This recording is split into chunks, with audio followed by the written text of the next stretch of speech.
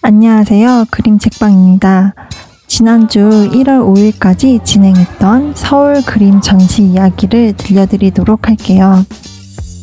바로 푸우 전시인데요. 소마미술관에서 진행하였고요. 저는 정말 강동구를 오랜만에 갔었는데요. 덕분에 잠실 나들이도 하고 참 좋았습니다. 40년 넘은 곰돌이 푸 전시 중에서 이번 소마미술관에서 진행한 곰돌이 푸 전시가 가장 규모가 큰 전시라고 합니다. 푸 작품의 전체 일대기를 모두 감상할 수 있었어요. 한 가지 재미있는 건 처음부터 귀여운 푸우가 아니었다는 사실입니다. 왕년의 푸우는 약간 무서울 때도 있었더라고요. 푸우가 지나가는 모습을 보는 재미가 있었습니다.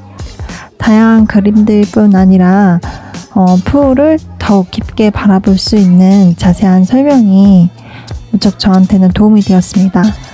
특히 푸우 이야기를 만든 사람이 작가 알란 알렉산더 밀튼, 밀른이라는 사람인데요. 그의 어린 시절이 푸우 이야기를 그리는데 많이 반영된 모습을 보았습니다.